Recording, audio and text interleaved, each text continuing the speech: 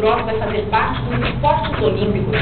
Essa notícia está incentivando os atletas de todo o país. Neste domingo, em Jacareí, mais uma etapa do campeonato estadual reuniu pilotos de todo o estado.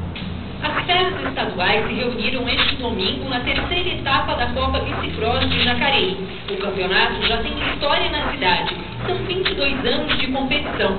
150 atletas participaram da prova. Destaque para dois jovens talentos, Matheus e Gustavo. O ciclista de Caraguatatuba ficou em oitavo lugar no Mundial na categoria Boy, realizado no mês passado em São Paulo. Ele tem apenas oito anos, mas já faz discurso de campeão veterano. Meu dia a dia é treinar cinco vezes por semana. É, comecei, desde pequeno, desde dois anos. Comecei e não parei mais. Meu futuro é sempre ficar no bicicross, nunca desistir. Acho que eu quero correr por resto da minha vida. Gustavo ficou em sétimo lugar no Mundial. Aos sete anos, é a grande promessa de Jacareí no bicicross, esporte que entrou na vida dele por acaso. Um dia eu vim aqui, aí eu vi os, os caras andando e eu queria andar. Eu falei pro meu pai que eu queria eu andei. O bicicross exige muita força nas pernas e braços, além de coragem para percorrer toda a pista preparo físico, Luciana, primeira colocada no Paulista, garante que tem. Já a coragem, Ah, dependendo da rampa, dá muito medo.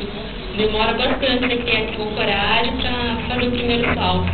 o medo de Luciana faz sentido, pois os tombos ou capote, como eles chamam, são comuns em cada bateria. Em 2008, pela primeira vez, o bicicross vai fazer parte de uma Olimpíada. Por isso, desde já, jovens talentos treinam forte para, quem sabe, representar o Brasil em Pequim. Eles sabem que a largada tem que ser agora. Treinador há mais de 20 anos, Pedro já revelou vários talentos. Ele aposta que o país não vai fazer feio nas Olimpíadas chinesas.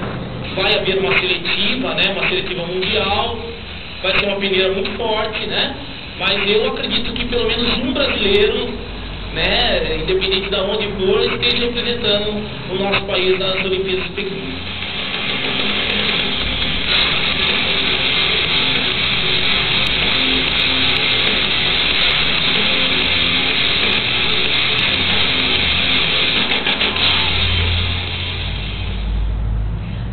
Matheus Prazeres, que disputa a categoria Expert 7 e 8 anos, foi o campeão da etapa de ontem. Já Gustavo, que também corre pela mesma categoria, chegou em segundo lugar. Parabéns aos pilotos da região.